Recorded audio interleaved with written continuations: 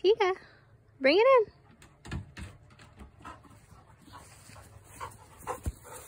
What a nice ball you have.